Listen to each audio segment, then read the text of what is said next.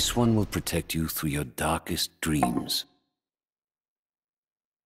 But remember, Noct, in the world of your dreams, you are king. I'm not afraid.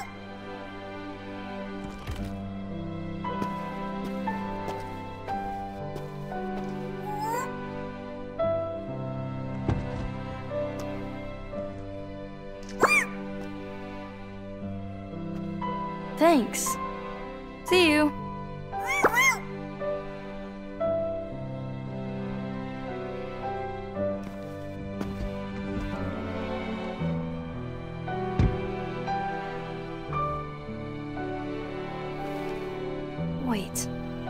I remember your name now.